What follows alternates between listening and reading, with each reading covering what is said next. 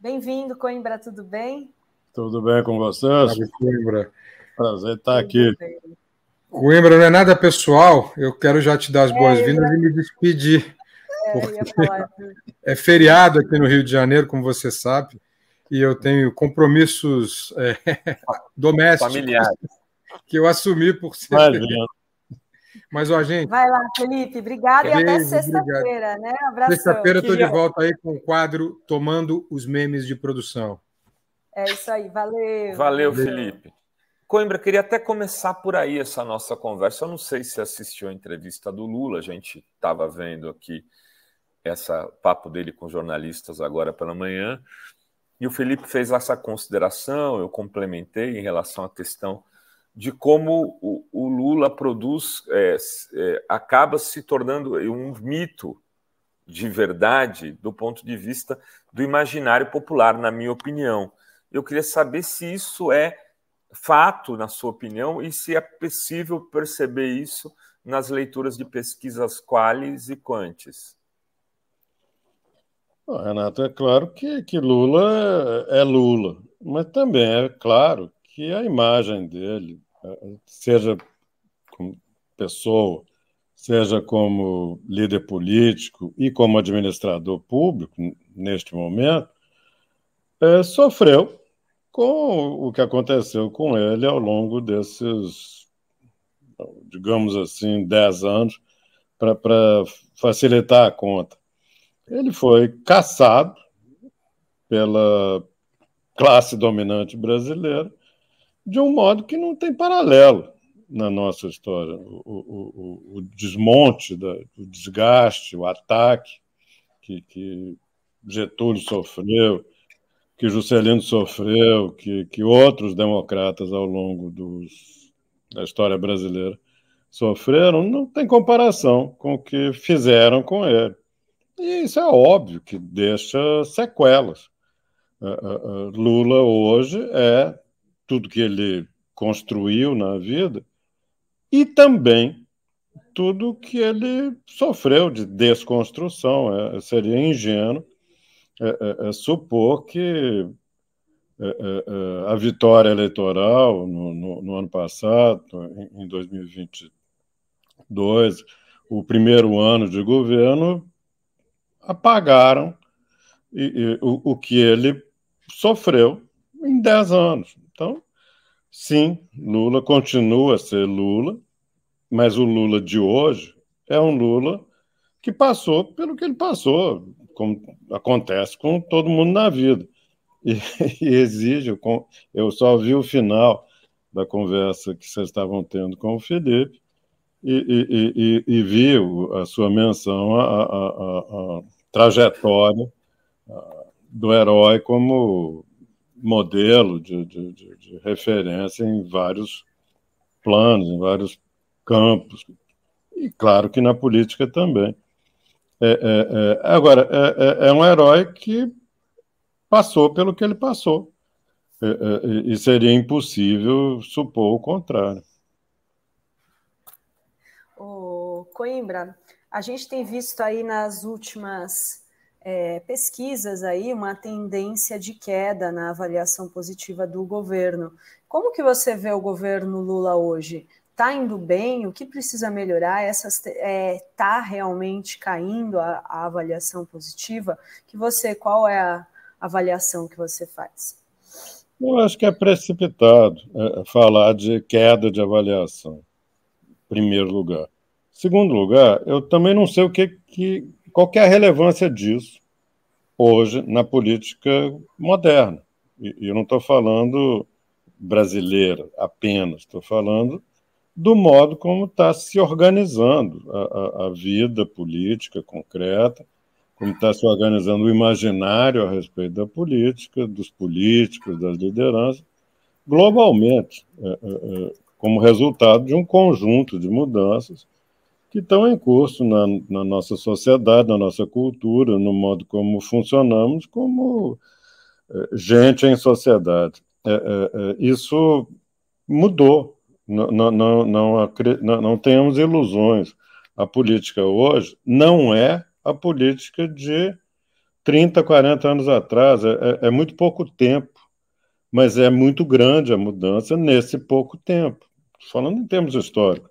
É, é, o que, que é 30 anos? Nada. O que, que foi 30 anos ao longo do século XX? Quase nada. Mas neste, nessa, nesta aceleração que nós estamos vendo em uma série de aspectos, é, alguns poucos positivos e alguns muitos negativos nesses 30, 40 anos, as coisas mudaram muito. E, e, e, e eu não sei mais o que, que, quer dizer uh, uh, ter uma avaliação ruim. Quer dizer o quê?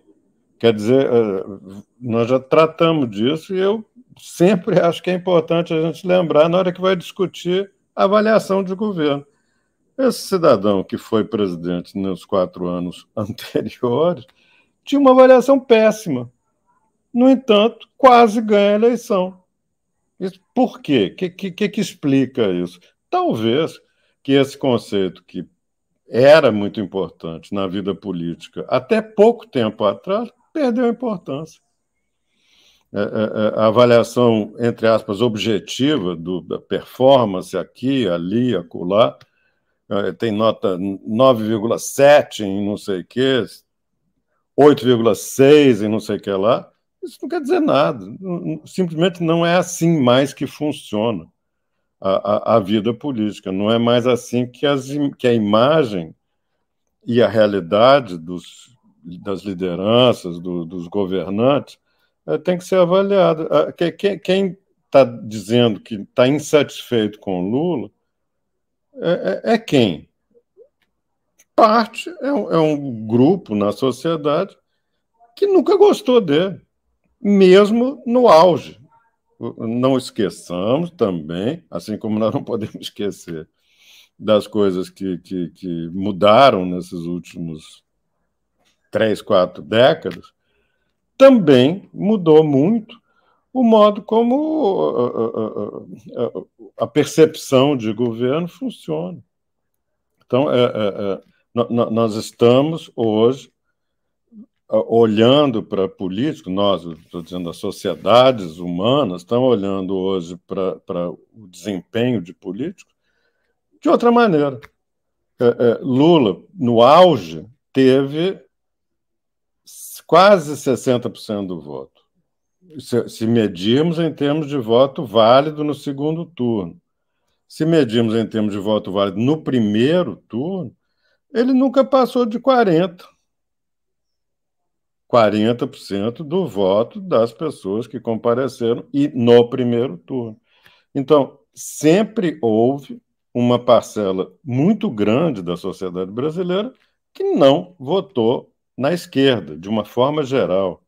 Não votou em, em candidatos com, a, com, o tipo de, de proposta da esquerda brasileira, não votou na, na, nas pessoas que representavam esses partidos, e seria ingênuo imaginar que, o Lula, que no auge chegou perto de 60, depois passou por isso que a gente falou no, no início, por esse ataque sem tréguas durante 10 anos contra ele, do, é, é, supor que agora ele ia chegar a 70 a 80? Claro que não. Existe uma parcela da sociedade brasileira que não vota na esquerda. E, aliás, não é só no Brasil, não. Estados Unidos, Inglaterra, França, Itália, Espanha, Índia, Japão, qualquer lugar que você vá, é assim. Então, não, não temos ilusões. Lula ganhou apertado a última eleição.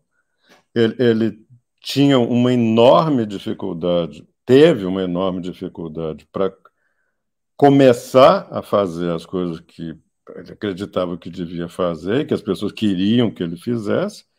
Em um ano é pouco tempo para que esse tipo de. de, de para consertar essa calamidade pública que ele recebeu do bolsonarismo, e agora tenta compensar isso com, com um esforço pessoal impressionante para uma pessoa que tem a trajetória de vida dele, que tem a idade dele, ele não para.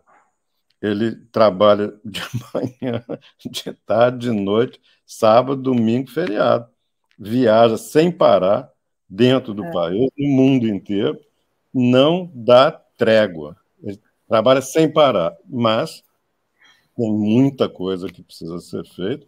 Ele tem um conjunto de problemas gravíssimos de imagem, herança dessa TV Globo, dessa impre grande imprensa, que fizeram, que puderam para matá-lo. Não conseguiram, mas feriram. É, e ele ainda disse lá, acorda todo dia, 5 e meia da manhã, para fazer esporte, né? Que pique, né? Aos, quase aos 80 anos, quase, né? Tá muito bem. É, vai, você tem alguma Tenho. pergunta? É, ontem o Lula lançou o Acredita, né? Foi um programa que toda a embalagem foi para dizer que o, agora o governo tem um plano, tem programas para a classe média.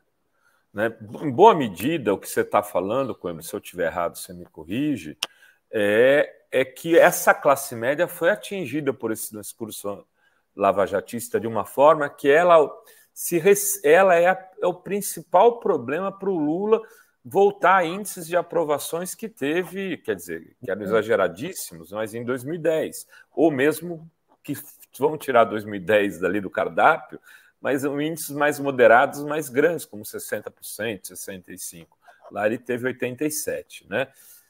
E parece que tem um, uma barreira, um muro de proteção aí. Você acha que esse programa tem potencial para já fizeram algum tipo de pesquisa nesse sentido? Ele tem potencial para quebrar ou para pelo menos infiltrar um pouco de água e começar a abalar esse muro? Sim, claro que sim. Existe uma parcela da opinião pública que tem baixo interesse por política, aliás, é a maioria da, da sociedade, como nós temos interesse por esse assunto, e, e os nossos familiares, os nossos amigos costumam também ter interesse por política, é, é, é, é difícil imaginar, mas nós, estamos, nós temos mais da metade, quase 60% da sociedade brasileira não se interessa, não acompanha, acha relevante para ela, tem outras coisas para fazer na vida e temos que compreender que isso é admissível na democracia de massa. Não era lá na, na, na, na velha Atenas, onde aquela ideia da democracia como um lugar de pessoas altamente motivadas, que acompanham o dia a dia, que sabem exatamente o que fazer, criticam concretamente por que, que isso está sendo feito na educação não está bom, que podíamos fazer assim, não assado. Isso é uma enorme, uma imensa minoria da sociedade. E na classe média não é diferente. Então, se você conseguir vencer a barreira do desinteresse e da desconfiança, qualquer coisa que tenha a ideia de presta atenção, por favor, olha antes de condenar, talvez tenha efeito. Eu sou muito esperançoso, não. É, é, é, eu acho que é, normal que as pessoas não tenho essa, essa capacidade de acompanhar e responder a isso. Né, perdão pela analogia, óbvio. Mas vamos chegar num lugar onde é muito mais o, o, a, a, emoção que manda, muito menos a, a racionalidade. Futebol. Se o Santos estiver bem, você vai ser Santista? Se você, se o Santos estiver mal, você vai deixar de ser Santista? Não. E, e assim por diante. Então, as pessoas que gostam de Lula, que são muitas, quase 50% da população brasileira, gosta entre muito e gostam de, de, de Lula. Então, é para essas pessoas que ele tem que procurar dirigir uma informação é, é, é, sóbria, é, é, sem ficar cobrando, assim, você não está vendo o que eu estou fazendo, seu burro. Claro que não é isso, mas é mostrar o que está sendo feito e esperar, torcer para que isso se traduza em outros termos, em termos políticos. Na hora em que alguém for criticar o governo, ou o presidente, ou sei lá, o ministério, numa conversa no botequim, na, na, no churrasco de fim de semana da família, ou, ou, ou a pessoa diga assim: não, mas você está exagerando. Não é só isso que está acontecendo, tem também isso assim, isso assim, isso assim, assado. E essa conversa é, é, pode ser que traga algum benefício. Como dizia o, o, o, o lastimavelmente finado Duda Mendonça, política acontece no bar, na, na, na, no cafezinho da empresa, na, na, fila de ônibus, na, sei lá, na fila do banco. As pessoas, é, é, alguém fala alguma coisa e uma outra pessoa diz: Não, peraí, você está sendo bobo, achando que o Bolsonaro fez um trabalho maravilhoso, não sei aonde vice-versa. Você não está vendo, mas tem coisa que está acontecendo aí. É essa, esse cotidiano é que manda. E agora você tem que informar. Então, esse programa pretende botar um, um, num pacote só um conjunto de medidas para as pessoas prestarem atenção. Se vai ter efeito ou não, é, são outros 500. Ô Coimbra, no último domingo a gente teve o ato dos bolsonaristas no, na praia de Copacabana e muita gente fala, ah, flopou, flopou, porque eram esperados aí, o, né, os, os bolsonaristas esperavam até um milhão de pessoas e segundo o monitor da USP, foram 32 mil pessoas presentes no ato. Eu te pergunto, é, gente pode, é, dá para falar que o bolsonarismo está diminuindo de tamanho, chegou no teto, ou ainda é muito forte? Que, qual que é a sua avaliação desse ato? O que, que revela, revela para a gente? Rodrigo, não sei. É, é, é, como eu tenho tentado ver se consigo pensar direito a esse respeito, eu acho que claramente nós temos, no, no que se refere ao bolsonarismo, um núcleo pequeno, ponto de vista relativo, mas muito grande, em termos absolutos, de gente que é bolsonarista, que apoiou a tortura durante a ditadura, que é a favor de, de, de, de, política de mata primeiro e depois pergunta quem que fez alguma coisa errada. Existe. Se for 10%, é, tem 90% que não pensa assim mas 10% num país do tamanho do Brasil é gente para chuchu. Agora, é, é, eu, não conheço como é que é o clima dentro desse núcleo, eu nunca, nunca acompanhei, mas sei que existe. O Bolsonaro não se elegeu meia dúzia de vezes como deputado, e se elegeria outras tantas. Ele não elegeu os filhinhos dele, deputado em São Paulo, no Rio, vereador no Rio, porque tem gente pra caramba que acredita que é assim que deve ser. Essa gente, se ela, se ela cresceu ou diminuiu em termos que faça diferença num processo, por exemplo, de eleição majoritária, é, é, é, eu não sei dizer. O que eu sei dizer é que parece que tem um limite para você conseguir manter uma parcela além desse núcleo motivada e mobilizada. Não sei dizer. Eu vi que alguém fez uma pesquisa de, de, de intenção de voto dentro da direita e, e deu Tarcísio. Quer dizer o quê? Isso? Nada.